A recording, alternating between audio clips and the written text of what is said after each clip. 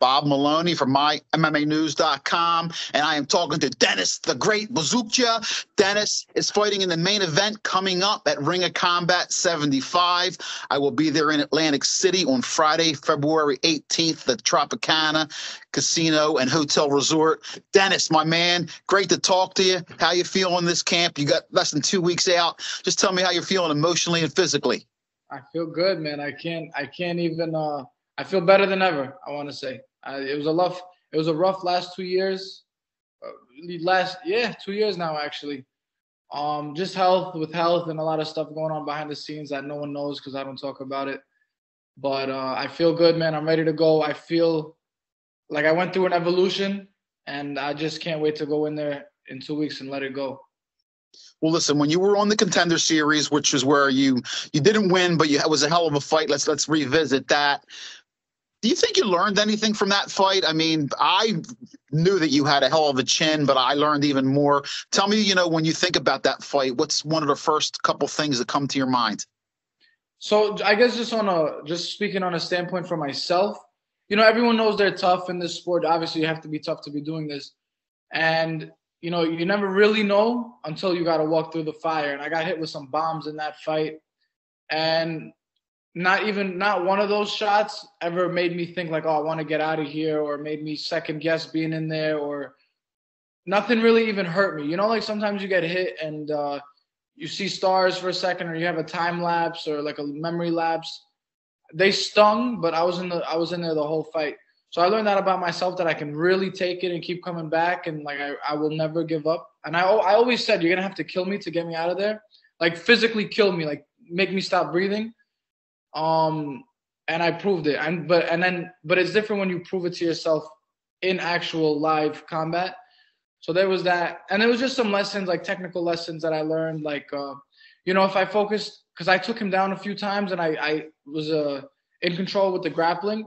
So if I was just a little bit more patient with the grappling and and controlled instead of trying to like just transition and move too much and slowed it down, I would have been it was a big lesson for me too with that. So little stuff like that. Well, listen, you've been in with the same camp for a long time, and you know the guys that you train with have had a lot of success. We're talking about Merab Dvalishvili, we're talking about Al Iaquinta, we're talking, you know, Aljamain Sterling, the champ. Now, as they've you know gotten their contracts in the UFC, I'm sure they have more traveling things to do. Have you still been able to get a lot of workouts with those guys? Because obviously they have less time now than they have before. Now that they're in the UFC, so tell me a little bit about your camp and you know if it's been the same or who you've been rolling with that's getting you ready for this this battle. Yeah, yeah. So that's a great question because you know Aljo's been in Vegas, Merab's been in Vegas a bit. Um, so yeah, I Aljo came back. I got a lot of working with Aljo the last two weeks. We had some great sparring, uh, great grappling rounds, great, very great training with Aljo, and it's it's it was nice to see for myself because a few months ago, where he would have a much upper hand, you know, I would win some positions and give him a lot more trouble in positions just in a few months time period. You know, as a, from last from the last ring of combat, which was in October. So just in a three month difference, I see how much, and you know they see it, and he sees it, and we all, and we feel it in the training room, the difference in the progression in my in my game. So it's just exciting for me to see it in the next three months and the three months after that. But I've been working with Aljo, work, worked a lot with the wrestling and the grappling at Serra's, you know, because my opponent is a grappler, and I've been working a lot with uh, one of my teammates. He just fought last night, so congratulations to him. He won. Anthony Delemy. He should be going pro now soon too. Um, he's he's a he was a perfect training partner for this fight. So we had some great sparring rounds in together, some great wrestling. So, you know, this is this is the team over there. We got a lot of guys: Nas, Charlie, um, Justin, Dylan. There's the, Pumi, of course. Pumi. There's so many, man. There's so many guys, great guys in the gym. So that's how you see this fight. You said Josh is is a grappler you obviously love to go out there and, and throw bombs. You think you think that will be his game plan to you know try to uh, keep the distance and, and and shoot in, grab a single, or try to get it to the ground to make it dirty. Is that what you think? Yeah, hundred percent. I think he'll try to probably stand a few seconds and then get touched up, and uh, ultimately he's gonna look for the takedown. He, I think he was a college wrestler. Um, someone told me that. Uh, I only watched really like a minute of one of his fights. I haven't even watched anything. I saw he beat a kid from Contender Series. Um, I saw like a minute of that fight. It was just a lot of grappling. So, um, but he's tough. You know, he's tough. He's 30. I think he's 32 now. So he's in his best years. He's strong. He's experienced. Um, he's been on a winning streak too. So he's tough, man. You know what I mean? I do think he's gonna try to take it to the ground and make it a dirty fight. I don't think he'll try to stand at range with me. I mean, if he was smart, he wouldn't. I'm kind of giving him a game plan right now. I wouldn't. If it was, if I was him, I wouldn't stand in the distance with me. So I think his best bet is to try to take me down and grind me out, which is not that's not gonna happen. You know, if Aljo can't do it, he's not doing it at world champion level.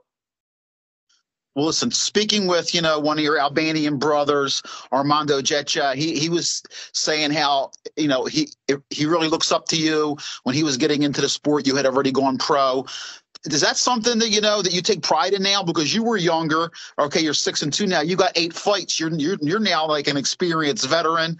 You were on a contender series. Do you take that leadership role now with you know younger teammates and and other fellow Albanians who were maybe you know trying to get to the level you're at?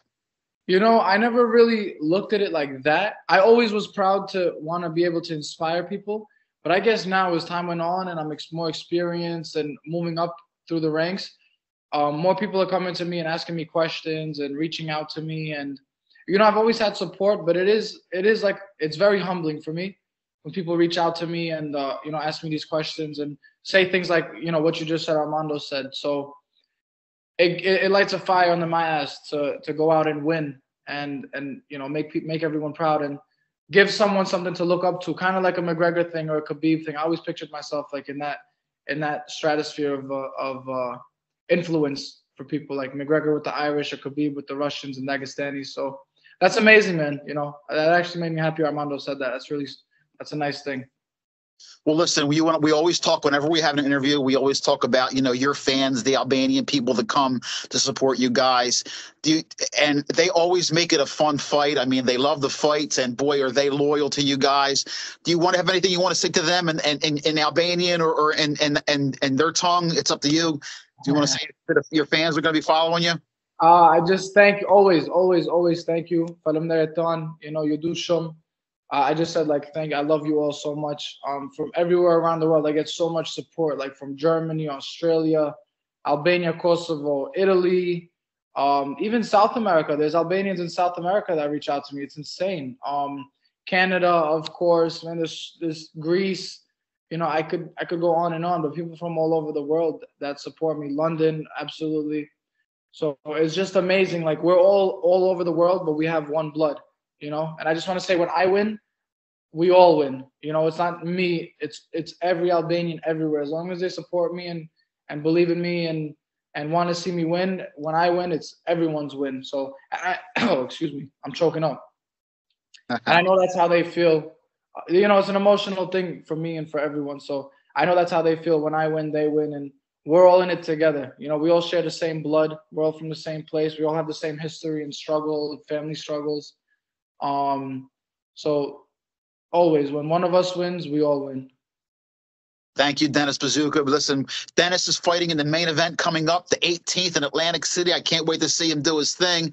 I hate to like say this to, to a fighter because you know you only have to concentrate one fight at a time but dennis really is at that level where one or two wins and you know he could be fighting with some of his teammates in the ufc i think that highly of you and, and your skill set and your work ethic. Give some shout outs to the to your sponsors to anybody that you want to say thank you to dennis. Yes thank you bob. First of all thank you to you for your time. And always showing love before every fight man. I really appreciate that on your end. Uh, thank you to my team Ray Longo, my coaches, Matt Serra, Al Iaquinta, Aljo, Merab, everyone at the gym. All my sponsors, I want to say thank you to Gazmend, uh, Linde, Sadiku with uh, Triangle Scaffolding, uh, Echo, Leo, Benji at TVR. Man, you guys, I love you guys so much. Joe Spinelli, he's been a huge support for me the last two fights and just an amazing person with Gold Coast Mortgaging. He's an amazing guy. Uh, Impact Dental and Face Meets Fist. I'm wearing my our jacket. You know, Got the new logos on link in bio if anyone wants to buy, support some apparel. And uh, Dennis Jari, man, he's another Albanian guy. His name's Dennis too. Uh, very nice, polite, successful Albanian man who, who just wants to see me do good. So all these guys want to see me do good. This close knit Albanian group, um, you know, they they just love it. They love me. They want to see me do good and support me. So I love them. I'm so thankful for all of them. Um, and God willing, we all go to the top together and we take over the world. Dennis, best of luck to you with your final preparations. Weight cut, best of skills to you. Can't wait to see you on the 18th and, and have a safe travel there and a great weight cut. And we will see you soon. It's always a pleasure to talk to you and watch you work. Likewise, my brother Bob. Thank you so much for your time, man.